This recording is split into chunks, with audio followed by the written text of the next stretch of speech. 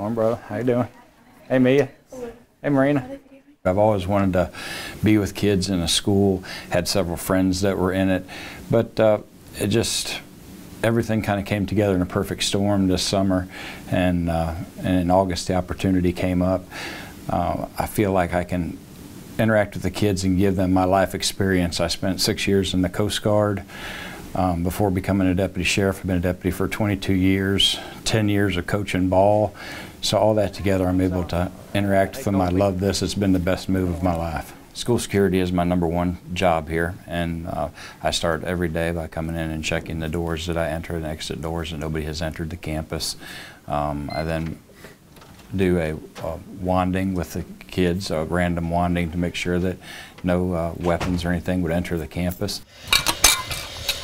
After that, all the ex exterior gates are locked so that no uh, intruders can have easy access. And then during the day, I'm constantly walking the halls, entering classrooms, checking the perimeter and the outside areas for the security of this campus.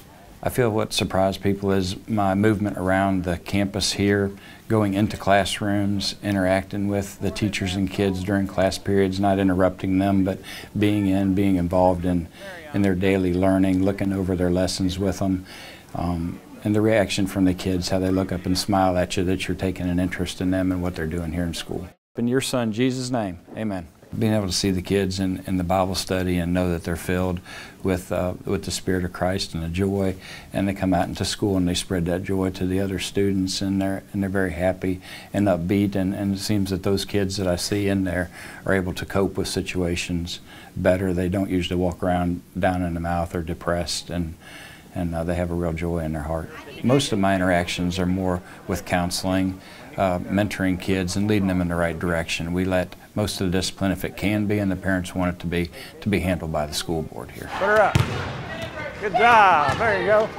Shooting baskets with them in the in the in the gymnasium or whatever they're doing, volleyball, just interacting with them in the gym. It's a fun thing that I like to do whenever I have the opportunity.